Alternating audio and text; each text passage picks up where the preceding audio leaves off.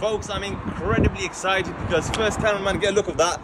You might have to focus it a little bit because it's cinematic mode, but that is the new spot in Birmingham. It's called Smoking Grillers. Really, really gonna enjoy this one now. As you can see, you've got a whole range of um, chicken. You've got some bit of brisket, I believe, some loaded fries.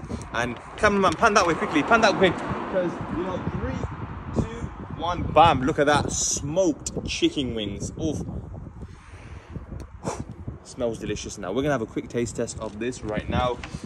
Here we go. I think we'll start with the brisket. Oh my lord. Bismillah. Let's get this in the gob. Here we go.